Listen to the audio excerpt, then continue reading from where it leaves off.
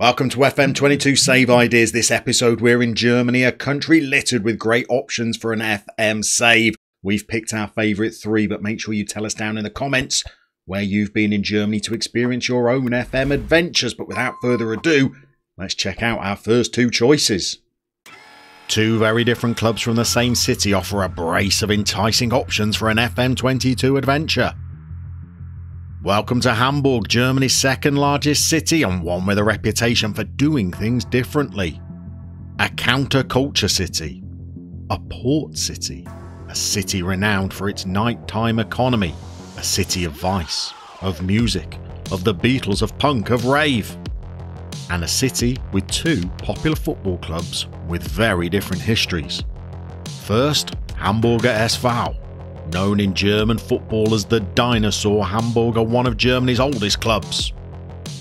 And a successful one too six German championships, three German Cups, a European Cup Winners' Cup, and the greatest title of all, the 1983 European Cup.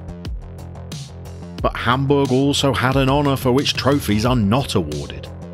Since the founding of the Bundesliga in 1963, Hamburg were the only mainstays. Even Bayern and Dortmund had spent time in Bundesliga too, but not Hamburg. An achievement they were so proud of they installed a clock at their Volkspark Stadion, displaying how long they had spent in the top flight. But their fortunes had been in decline for much of this century, and survival was becoming harder to achieve each season. Brushes with the drop and relegation playoffs became the norm. And then in 2018, the clock stopped. The fans responded with songs inside the stadium and riots in the city. But for their rivals, it meant the prospect of a Hamburg derby next season. This is St. Pauli, a district of Hamburg located on the Elbe River, and home to the notorious Reeperbahn known as the Sinful Mile a fitting home for St. Pauli, a club with zero league titles, without a cup triumph, and only a handful of seasons playing in the Bundesliga, but with one of the most distinctive cultures in German football. Founded in 1910, the club became more widely known during the 1980s, when St. Pauli became a cult club. The 1980s was a period in which many clubs attracted far right nationalist supporter groups. But St. Pauli were different. The club's location near the docks and Reeperbahn district meant they began to attract an alternative support from punks, intellects, artists, free thinkers, radicals, nonconformists, squatters. They became the ultimate counterculture club. From here, the legend of St. Pauli grew, they became a club that championed diversity, where fan welfare became central to decision making. And where do these supporters come together? The Millerntor, a place where football is peripheral to having a good time. Unless it's Derby Day, where once Hamburg fans would watch their team on a Saturday and lend their support at the Millerntor on a Sunday, now tensions between the two run high. Which brings us to FM22, where these two Hamburg residents both start in Bundesliga 2. Whilst one offers you the opportunity to rebuild a former European champion, the other is a club with ideals but no trophies. Do you favour history on the pitch? Or cultural ideals off it?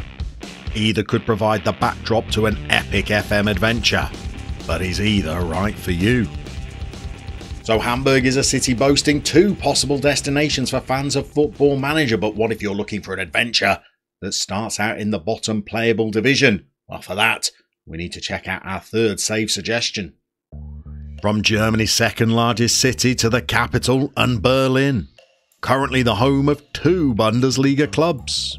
But whilst Hertha and Union compete to be the capital's top club, in the third tier lie Viktoria 1889 formed in 2013, but one of Germany's oldest clubs. The club is the product of a merger between Berliner Fußballclub Viktoria and Lichterfelde. two historic clubs from the region that had fallen on harder times and were competing in the regional leagues. But the origins of Viktoria date back to 1889, and at the start of the previous century, they were one of Germany's leading clubs. They won the German Championship in 1908 and 1911. But their decline began with the formation of the Bundesliga in 1963. At the time, football in Berlin was not as strong as in other regions of Germany, but the authorities felt it important that a club from the partitioned city be represented in the newly formed league.